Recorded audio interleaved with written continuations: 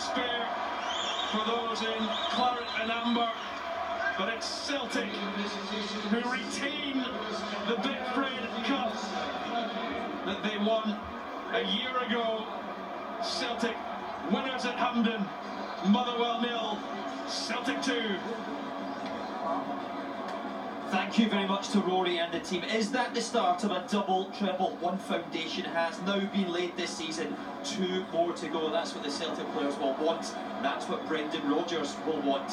Neil Lennon's been watching on, as has Stephen Craigan.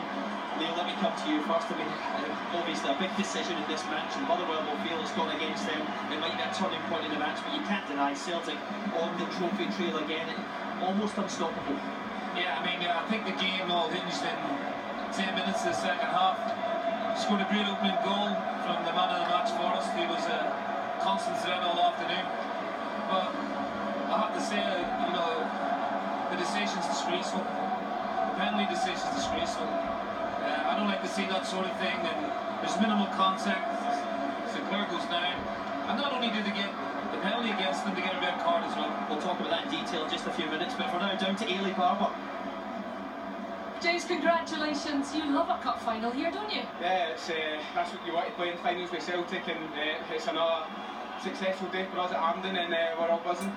It was a tough first half. Um, were there a few words said at, at half time? Because it was a much improved second half performance. No, I think uh, I think we, we did start well, but obviously they come out fighting, and we knew it was going to be hard, and we got that goal early in the second half, and we just kicked on from there.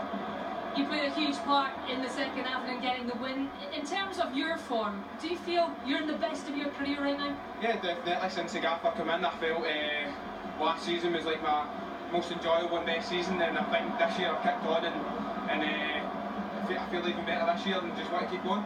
It's another trophy, the fourth in a row in this run that you've been on under Brendan Rodgers. Are they are they all special? Are they all different? No, it's, it's every trophy in the Celtic's uh, unbelievable and it's, uh, it's, it's unbelievable. We've won four in a row now, and we're just looking forward to, uh, to the league and then obviously the, the other cup starting in January. Yeah, still lots to play for, but enjoy today, James. You're the man of the match. Well done. Thank you. Cheers. He really is making a big impact on the big days now. We've seen it a lot this